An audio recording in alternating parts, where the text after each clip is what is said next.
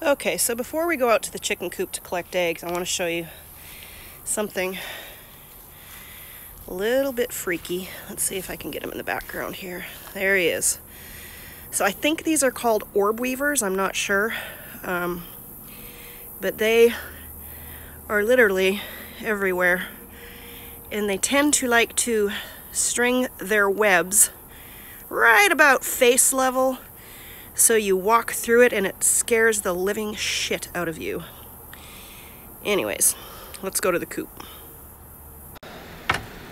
Okay, I'm back in the coop and I don't know how it's possible, but it's even hotter now than it was before. Um, one of my friends asked me what this little contraption is here. It is a waste-free chicken food feeder. Uh, my neighbor, my friend Kathy made it, and it has cut down significantly on food waste because chickens do not have table manners. Anyways, oh yes, we do have a fan here to keep our babies cool. Uh, you can tell when chickens are hot, they will uh, hold their wings away from their body. Uh, now, now they hear my voice, so they come running because they think I'm going to give them some food.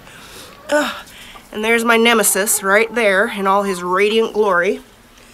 So, uh, two eggs here. And this is my broody hen that just likes setting on eggs for some reason. I'm taking it, sorry. And Frizzle is still here. Okay, I will give you some privacy, honey. She does have a little face in there. There's my little girl. Yeah, she's a hot mess. So we'll come out a little bit later and see. Oh, I can see an egg. Yeah, she's laying on a whole clutch of eggs. I'll just leave her alone. Okay, and I'm going back to the air conditioning.